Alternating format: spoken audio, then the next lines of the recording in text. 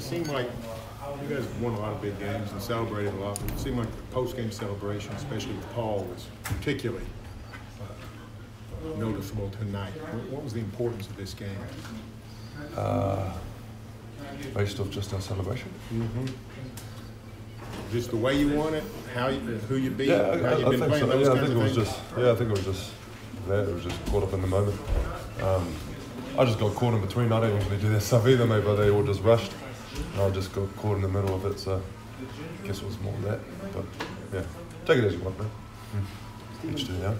Steve Billy said there was a play on, it was kind of a made free throw play on that last shot that Paul made. You guys had to kind of change it on the fly. Could you just kind of walk through that play, Russell bringing the ball up, you setting that screen, what, what happened from there? Um, well, we're anticipating a make.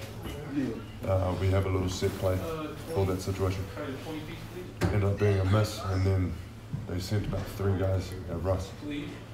So yeah, it was just basically just reads from there. It turned out pretty well. Um, yeah, so that's a play right here. Me looking back at B. Yeah, I mean, ended up working out pretty well, but it was still, it was still somewhat the play, but just the start of it was just a bit different, you know. So yeah, he, he was in the right position. Yeah, with the right spot. What was better about the defense in the fourth? Pardon? What was better about the defense in the fourth quarter?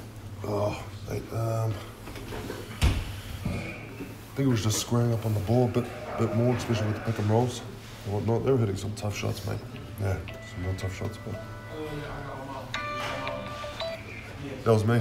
Sorry. yeah, I thought it was. Um, no, so yeah, they hit some tough shots, uh, but I think it was just screwing up on the ball, uh, which just allows for, uh, just if there is a pick and roll coverage, allows them pretty much the window that they could kind of do something with. It shortens that because then you just scrap it on the ball. Say if I'm in coverage, I get to go back to my man earlier and just play it from there, just help side and whatnot. Jerami did a good job coming over a couple times now with Harden's drive and whatnot. So yeah, I think that was a big difference. I'm not, I haven't seen the game yet, to be honest, mate. So yeah. You feeling better about the way you feeling better about the way you guys play? You won four in a row now, and Houston had a lot to play for tonight. Uh, You guys came back and beat them. You feeling better about the way the squad's playing? Uh, yeah, I mean, it feels good. Mm. Feels good. yeah, that's about it, mate. What's in the lunchbox? Thanks, Steve. Pardon? What's in the lunchbox? No, nothing at the moment, mate. Ate all the lunch.